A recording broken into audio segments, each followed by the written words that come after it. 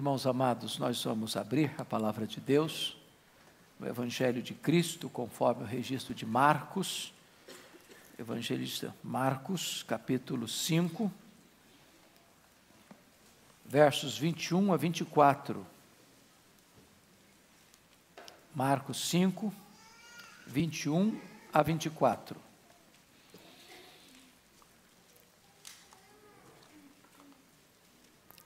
Está escrito: Tendo Jesus voltado no barco para o outro lado, afluiu para ele grande multidão, e ele estava junto do mar.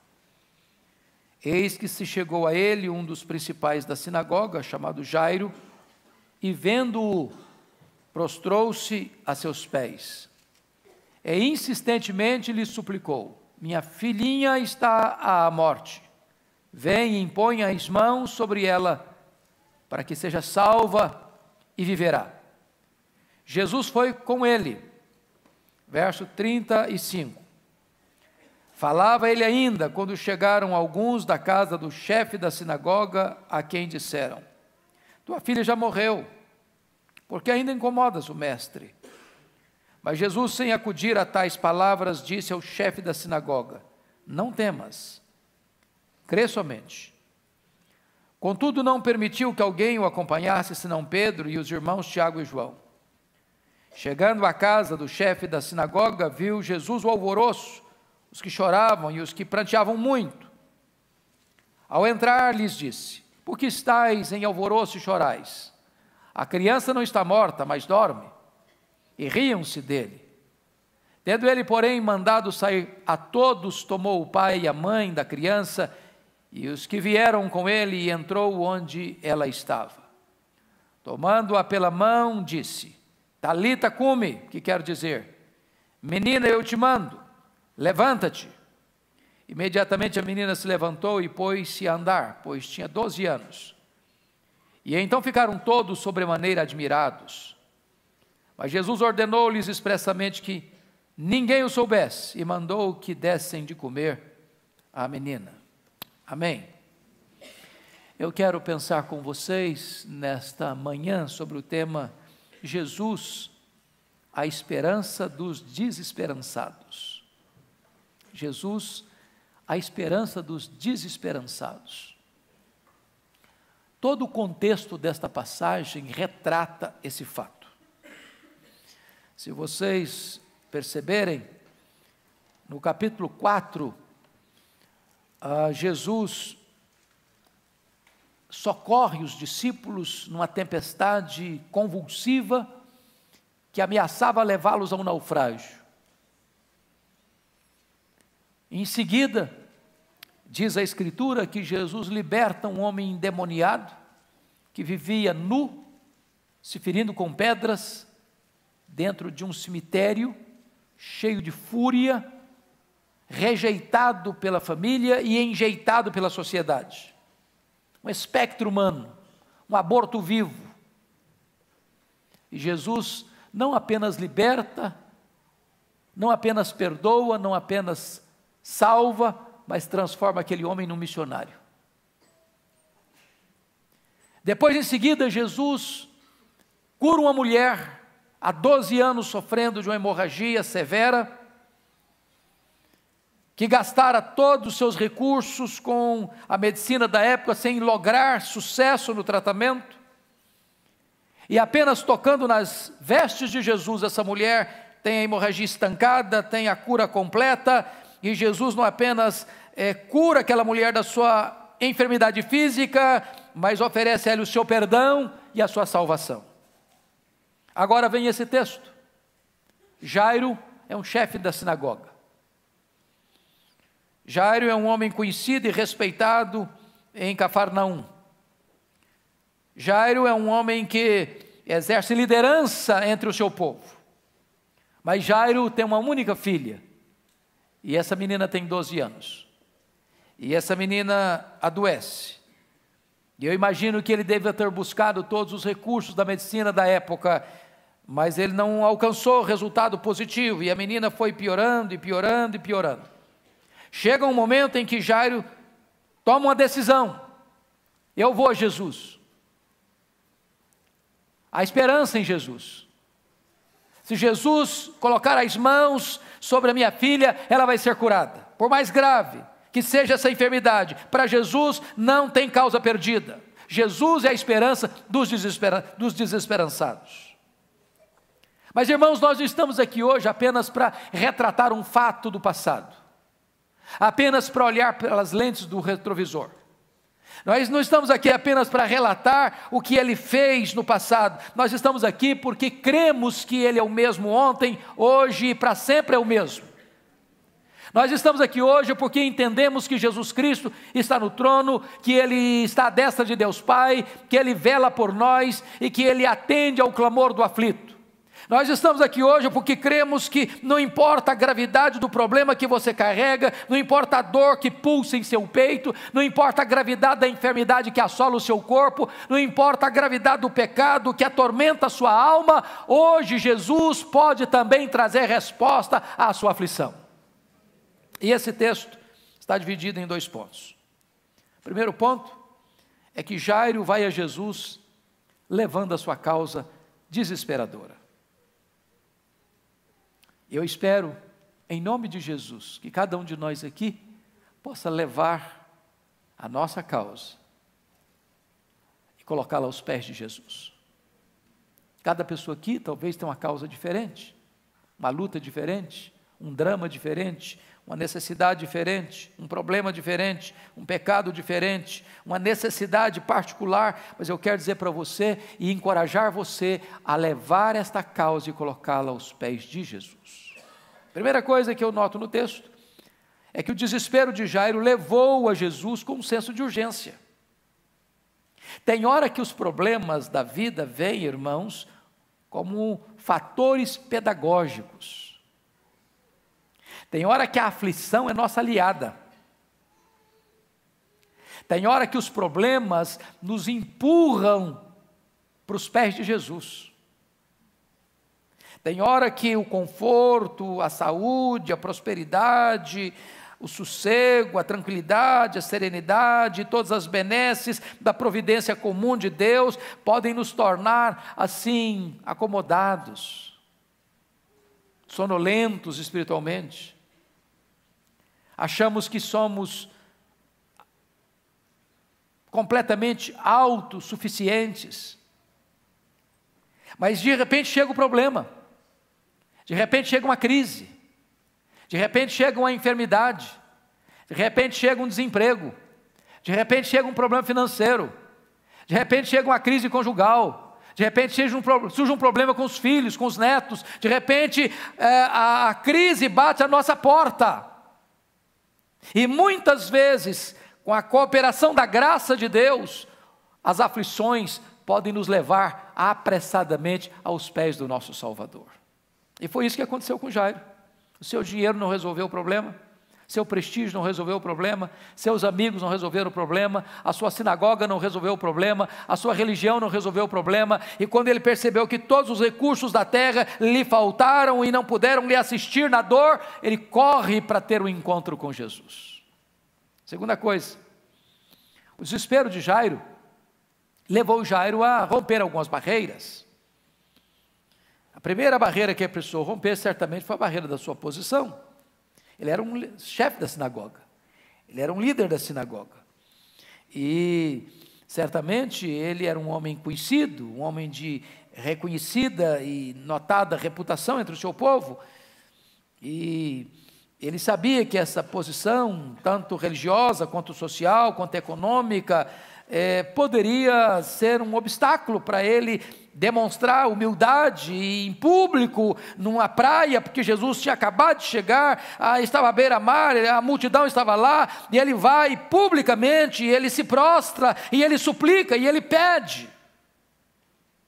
Tem muita gente que deixa de ir a Jesus por orgulho, por soberba, por altivez, por coração duro, porque o nariz está empinado porque a cerviz não se dobra. E sabe, irmãos, o orgulho pode nos privar das maiores bênçãos na vida. Você pode ser o homem mais rico, você pode ser o homem mais culto, Você pode ser um homem mais famoso, você pode ser a pessoa mais conhecida, você pode ser a pessoa que ocupa a função mais elevada na sua cidade. Você precisa se humilhar aos pés do Senhor Jesus, se você quer socorro dele. Terceiro, segundo lugar, ele, ele enfrenta a barreira da oposição dos líderes religiosos, porque se você notar, a partir de Marcos 3, 6, os líderes religiosos de Israel já estão tramando a morte de Jesus. Então ele percebe que, como líder da sinagoga, ao ir a Jesus, ele enfrentava um problema de fogo amigo. Ele enfrentava oposição entre seus pares. Ele enfrentava oposição a partir dos religiosos da época. Ele enfrentava a oposição do sinédrio judaico, dos escribas, dos fariseus. Ele sabia que ir a Jesus implicava em que ele teria que enfrentar alguns dilemas de relacionamento entre as pessoas que olhavam para ele como um homem que não podia favorecer a causa desse Messias. E quanta gente que ainda hoje deixa de ir a Jesus preocupado com críticas. O que, é que a minha família vai falar? O que é que meus colegas de escola vão falar? O que é que meus colegas de trabalho vão falar? O que, que as pessoas que convivem comigo das altas rodas da sociedade vão falar? Enquanto houver qualquer reserva no seu coração, qualquer medo no seu coração, qualquer preocupação com a opinião das pessoas no seu coração, você privará você mesmo da bênção de Deus. Agora notem, segundo, terceiro lugar aqui é que o desespero de Jairo levou a prostrar-se aos pés de Jesus. E três fatos nos chamou a atenção aqui. Primeiro, Jairo se humilhou diante de Jesus. Ele poderia ter ido e ficado de pé, nenhum problema nisso. Ele poderia ter tentado falar de igual para igual. Ele poderia ter dito: Olha, eu sou o chefe da sinagoga e eu tenho um problema e eu gostaria que o senhor me atendesse. Ele poderia dizer: Olha, eu sou um homem muito importante nessa cidade, eu sou o líder espiritual dessa sinagoga, e a sinagoga de Cafarnaum era a sinagoga onde Jesus frequentava, porque a sinagoga de Cafarnaum era ali o quartel-general onde Jesus estava, na cidade onde Jesus é, escolheu para morar durante os três anos de ministério. Mas não, ele, ele, ele, se, ele, ele abre mão de tudo isso e diz a Bíblia que ele se humilha, ele, ele se prostra aos pés de Jesus. Ele não exigiu nada, ele pediu com humildade. Ele se curvou e não expôs seus predicados, nem tentou tirar proveito da sua condição social, nem da sua posição religiosa. Mas deixa eu dizer uma coisa para você: o lugar mais alto que um homem, que uma mulher pode estar na vida, é aos pés de Jesus. Quando você está aos pés de Jesus, você subiu ao cume do monte da relevância da vida. Segundo lugar, Jairo clamou com perseverança. Veja você comigo o que está escrito ah, no verso ah, de 23: e insistentemente lhe suplicou. Ele não chegou e disse: Jesus, eu preciso de ajuda. Vai lá em casa, minha filha está enferma, impõe as mãos sobre ela para ser curada. Se levantou, deu as costas e foi embora. Diz o texto que ele insistentemente suplicou. A pergunta é: por que que às vezes Jesus espera que alguém suplique insistentemente? Por que, que Jesus às vezes não atende na hora? Quando Jesus espera que você suplique insistentemente, Ele está tratando é com você. Ele está medindo o grau de perseverança, de persistência, de quão consciente você está da sua necessidade ou quão desesperadamente você quer uma ação e uma intervenção dele. Jairo suplica com insistência, ele persevera na oração, ele tem uma causa, ele, ele não está disposto a desistir dela. Meus amados, nós temos causas urgentes. E precisamos orar, e perseverar na oração, e insistir, e pedir, e clamar, e bater. Porque quando Deus estabelece isso, Ele quer trabalhar mais na nossa vida. Mas notem mais. Terceiro lugar, Jairo clamou com fé. Vejam comigo. Vejam comigo. Versículo 23, ele diz assim: Minha filha está à morte, vem e impõe as mãos sobre ela, para que seja salva e viverá. Ele não diz: Venha, Senhor, impõe as mãos sobre ela, talvez ela melhore, talvez a situação mude. Quem sabe? Eu estou apelando, porque de repente isso vai funcionar. Não, ele não tem espaço para dúvida no seu coração. Ele crê que Jesus pode, ele crê que Jesus faz, ele anseia pela ação específica e eloquente e eficaz de Jesus na vida da sua filha. A fé de Jairo germinou no solo do sofrimento, foi severamente testada, mas foi também amavelmente encorajada. Então, esse é o primeiro ponto da mensagem. Jó, a, a Jairo vai a Jesus levando o seu desespero. O segundo ponto dessa mensagem é que Jesus vai com Jairo levando esperança para o seu desespero. Ah, olha o verso 24 comigo. Jesus foi com ele. E aqui eu gostaria de chamar sua atenção para algumas lições. Primeira, quando Jesus vai conosco, podemos ter a certeza de que Ele se importa com a nossa dor. Ele não é indiferente. Ele não é insensível. Ele não vai forçado, constrangido, mal-humorado. Ele se importa com você. Ele conhece o seu nome. Ele conhece a sua vida. Ele conhece o seu passado, ele conhece o seu presente. Ele conhece o seu futuro. Ele conhece aquilo que ninguém viu, que ninguém vê, que ninguém pode ver. Ele conhece o seu coração. Ele conhece as suas lágrimas. Ele sabe do que você precisa. Ele sabe quão grave é o problema que você enfrenta. Eu quero dizer para você que ninguém vem a Jesus para receber fora todo aquele que vem a mim, disse Jesus, eu receberei. Todo aquilo que o Pai trouxer a mim, eu acolherei. Ele não manda ninguém embora. Então, se você vier, se o seu coração estiver quebrantado, Ele não vai rejeitar você. Ele vai conosco. Agora, notem vocês que as palavras de Jesus neste episódio, ah, do caso de Jairo, é, fazem toda a diferença para nós. Porque notem, Jesus dá três palavras para Jairo. A primeira palavra é a palavra da fé. Olha o versículo 36 comigo. Mas Jesus, sem acudir a tais palavras, disse ao chefe da sinagoga: Não temas, crê somente, porque ele está enfrentando uma situação. Na medida que ele está indo com Jairo, tem uma multidão ali, e uma mulher resolve encostar nas vestes de Jesus.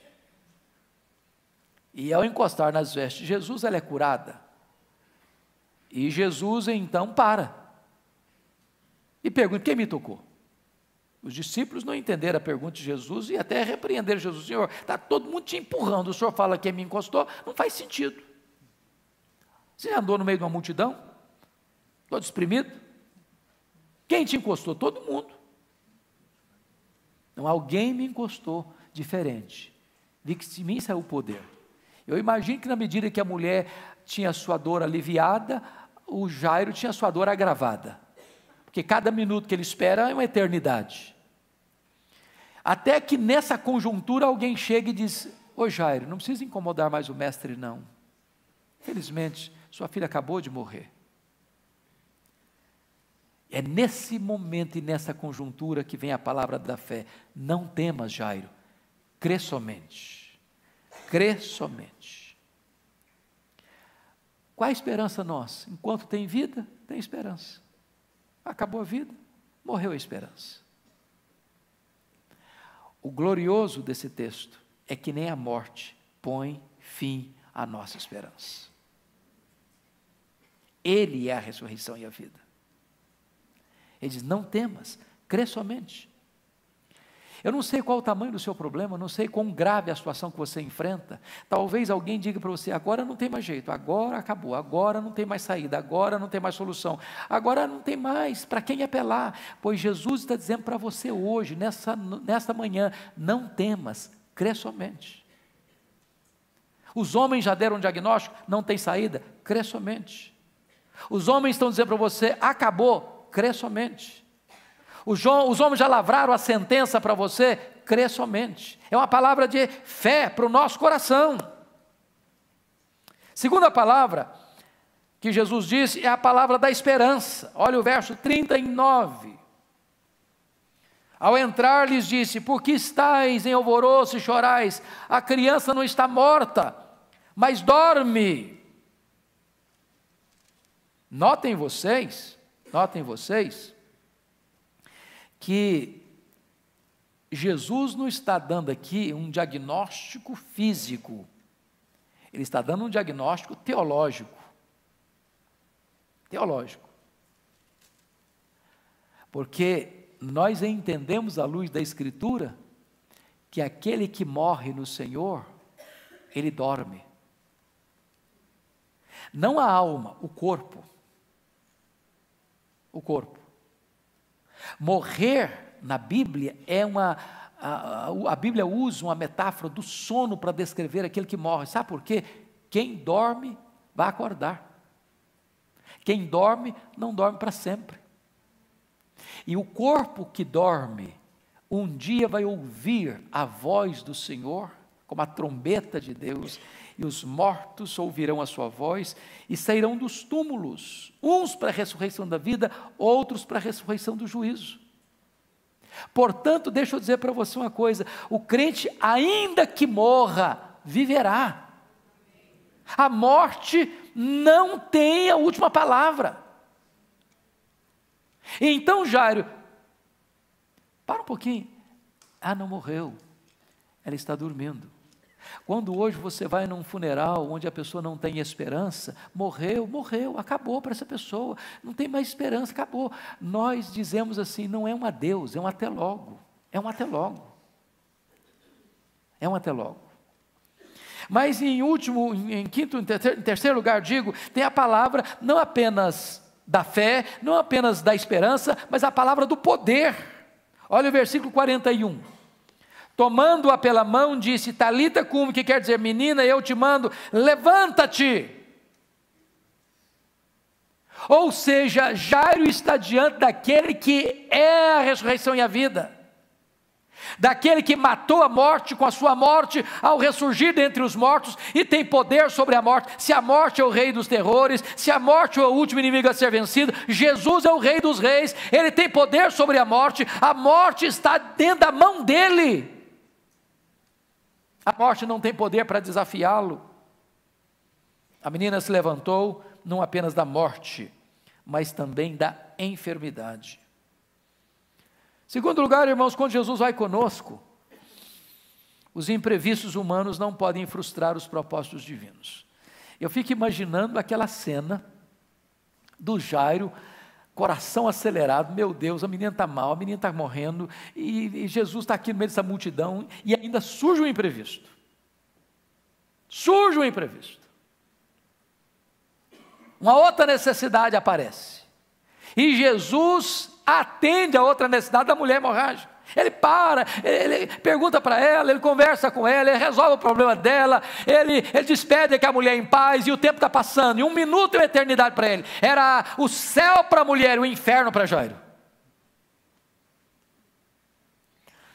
O que significa isso, irmãos? Os imprevistos humanos que nos afligem tanto, que nos incomodam tanto, que nos perturbam tanto, que nos angustiam tanto, esses imprevistos não podem frustrar os propósitos de Deus.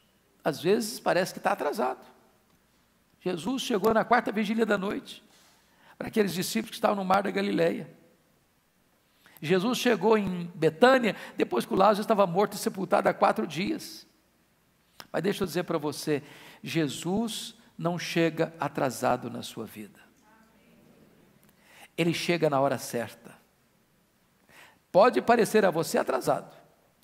De repente a circunstância ficou tão severa, tão grave, que diz, agora não tem mais jeito, pois o impossível dos homens é possível para Jesus.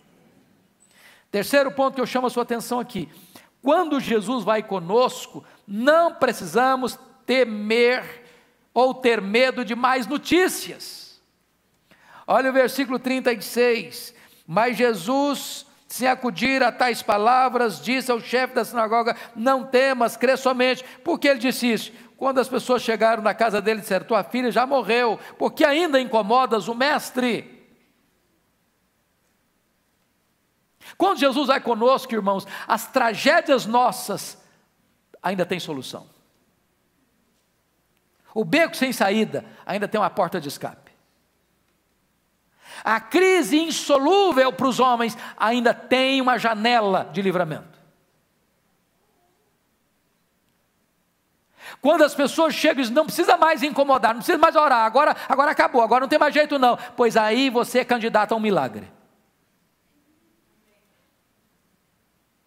Quando você tem a companhia de Jesus, você não precisa temer mais notícias. É claro que aquela informação parece que arrancou a última faísca de esperança do coração de Jairo. O mundo desabou sobre a sua cabeça. A dor do luto de uma filha única mexeu profundamente com a sua alma. Mas, na Bíblia, a fé não procede do milagre. Na Bíblia, o milagre procede da fé. Não temas, crê somente. Crê somente. Deixa eu dizer uma coisa para você, meu amado. Quando os nossos recursos chegam ao fim, os recursos de Jesus estão 100% disponíveis. Quando a nossa fonte seca, os mananciais dele continuam jorrando plenamente. Quando a nossa dispensa fica vazia, os celeiros dele continuam cheios plenamente. Quando o nosso poder acaba, o poder dele está pleno e suficiente para atender a você completamente. Você não precisa ter medo de mais notícias, se Jesus vai com você. Quarto lugar, irmãos, quando Jesus vai conosco, não precisamos nos impressionar com os sinais da morte. Olha o verso 39. Ao entrar, lhes disse: Por que estáis em alvoroço e chorais? A criança não está morta, mas dorme. Olha que coisa. Ainda hoje, como acontecia lá no primeiro século, havia muita tristeza e desespero nos funerais. Talvez até por influência da filosofia grega, que acreditava na imortalidade da alma, mas não acreditava na ressurreição do corpo. E com isso, os crentes de Corinto, os crentes de Tessalônica, que eram regiões gregas, ao fazerem o sepultamento de seus entes queridos, se rendiam ao desespero e à desesperança. E Paulo precisou escrever para eles, dizendo: Eu não quero que vocês vivam como aqueles que não têm esperança. Porque, embora o luto é doído, embora a despedida arranque lágrimas dos nossos olhos e fira o nosso coração de dor e saudade, a morte não pode vencer o nosso Salvador. Nós não precisamos temer mais a morte. Nós não precisamos mais fazer culto à morte. Deus não é Deus de mortos, sim de vivos, porque para Ele todos vivem. Essa esperança do cristianismo é gloriosa, irmãos. Para mim, a eloquência maior do poder do cristianismo é você ir num funeral de um crente. Uma pessoa que não tem esperança não entende como é que você canta num funeral. Não entende, não entende. É louco esse povo. Como é que canta? Como é que espera? Não é que você não está sofrendo, não é que seu coração não está machucado, mas você tem uma viva esperança. Uma viva esperança. Você não se perturba diante dos sinais da morte. Quinto lugar, quando Jesus vai conosco, a morte não tem a última palavra. Olha o verso 40.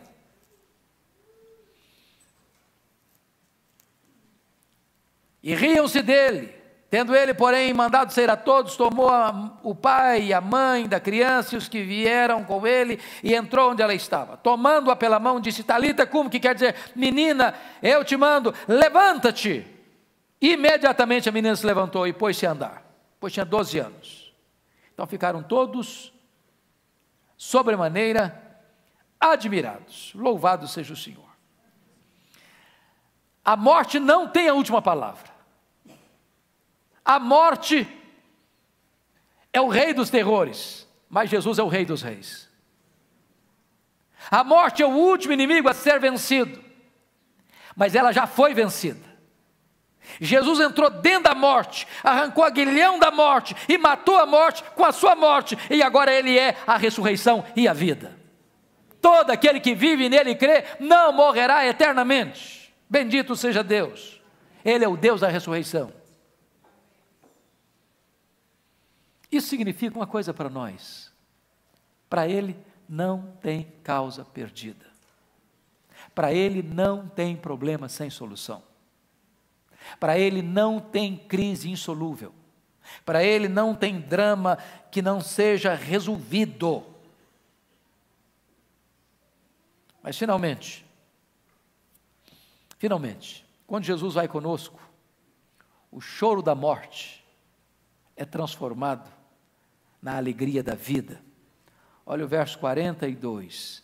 Imediatamente a menina se levantou e pôs-se a andar, pois tinha 12 anos, então ficaram todos sobre a maneira admirados. Ah, eu li um sermão ah, do pastor Ademar de Godoy, conhecido por alguns aqui, que já partiu para o Senhor, e o sermão dele tinha um título muito interessante.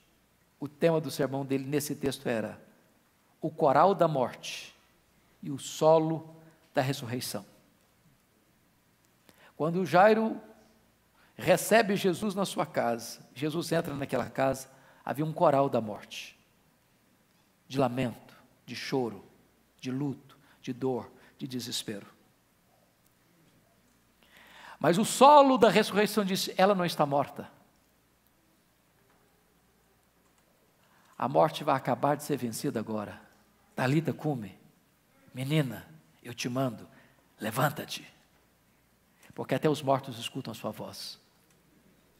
E a menina escutou a sua voz e se levantou. E o solo da ressurreição prevaleceu sobre o coral do luto, do choro e da dor. Jesus restaurou tanto a vida como a saúde. Nenhum resquício de mal nenhum vestígio de preocupação. O milagre foi completo, a vitória foi retumbante e a alegria foi indizível. Eu concluo aqui dizendo para você o seguinte: Jesus é a esperança dos desesperançados. Na conjuntura desse texto, ele revela poder sobre as forças da natureza, quando ele acalmou o mar e aquietou o vento. Ele revela poder sobre os demônios, quando ele liberta o gadareno. Ele revelou o poder sobre a enfermidade quando curou aquela mulher hemorrágica. E aqui ele demonstra poder sobre a morte, quando ele ressuscita a filha de Jairo. Ele tem todo o poder. Nada pode desafiar o seu poder. Portanto, seja qual for a causa que você traz, que aflige e atormenta a sua alma, coloque esta causa aos pés de Jesus nesta manhã. E você vai sair daqui livre, perdoado, restaurado pela graça e pelo poder de Jesus. Ele é a esperança dos desesperançados. Curva sua fronte, por favor. Vamos falar com Deus.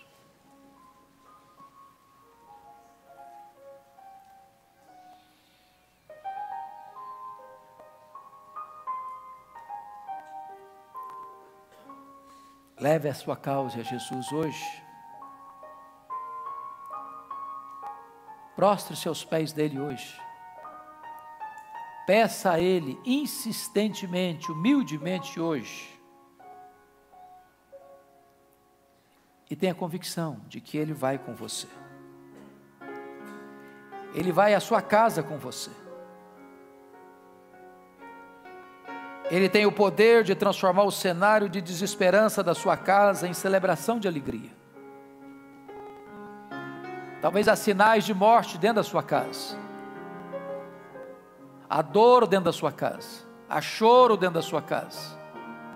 Há tristeza dentro da sua casa. Há problemas insolúveis dentro da sua casa. Mas se Jesus vai com você, você não precisa ter medo. Se Jesus vai com você, há uma palavra de fé, há uma palavra de esperança, há uma palavra de poder.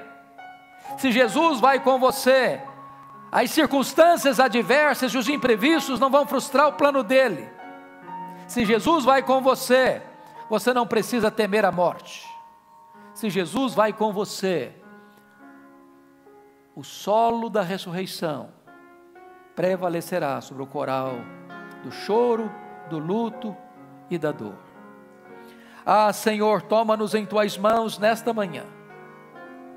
Traz paz ao teu povo, enxuga as lágrimas do teu povo, refrigera a alma do teu povo, traz alegria indizível ao teu povo, Reverte, Senhor, aquelas situações de dor, de tormento, de sofrimento, de angústia e de desespero.